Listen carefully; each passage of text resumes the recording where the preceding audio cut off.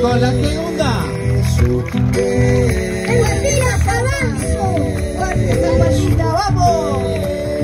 ¡Avanzo! En esta provincia linda que quiso y que gobernó, que amó tan profundamente y al diferente incluyó. Santiago hoy se te recuerda por tu orden y austeridad, por tu carisma y simpleza. Gracias te quiero dar.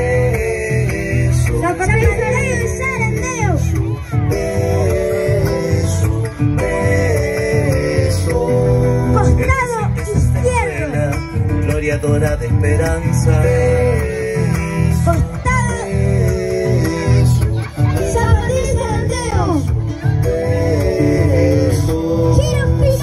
Esos salones que iluminan el mañana.